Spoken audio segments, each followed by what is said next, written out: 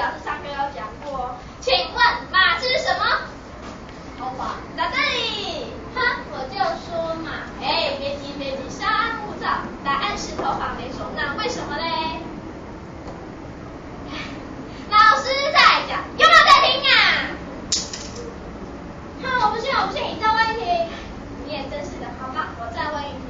这题老师上课也有讲过哦。请问什么话最美？花、水仙花、樱花。错错错，看啊，老师在，有没有在听啊？没在听嘛。那答案到底是什么？答案是茉莉花嘛。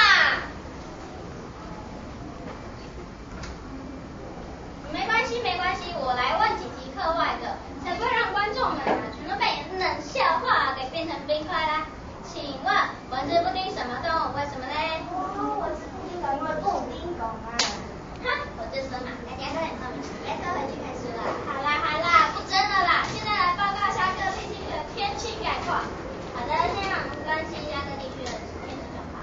基隆地区晴天，三十二度到三十五度；台北地区天气晴天，三十三度到三十六度；宜兰地区多云时晴，二十六度到三十度；桃竹苗地区多云时晴，二十七度到三十度；花东地区阴天，二十三度到二十六度；高雄屏东地区雨天，二十一度到二十三度。哇，时间过得真快啊！要跟应该跟大家说再见了。谢谢收看搞笑剧新闻，我是主播黄瑜，我是气象主播黄雨晨，我是观众丽，我是观众张玉。我是观众杨庆。要记得我们哦，拜拜！